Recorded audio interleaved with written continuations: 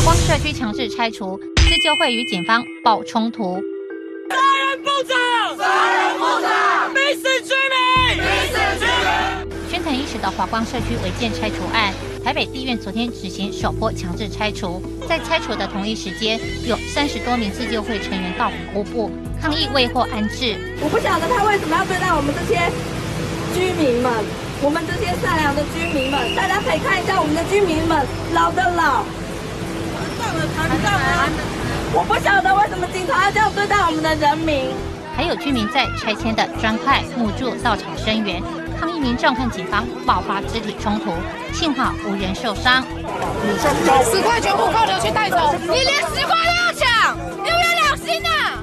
位在台北杭州南路二段的华光社区违建案已争议多年，土地所有人法务部提起拆屋还地民事诉讼后申诉，法院判这块土地所有权人是法务部。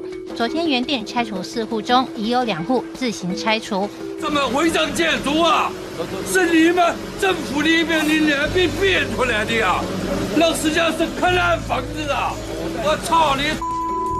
虽有住户在场抗议，快手在二十分钟内就将两间空屋夷为平地。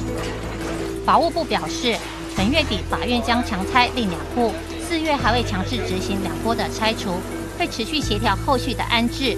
动新闻综合报道。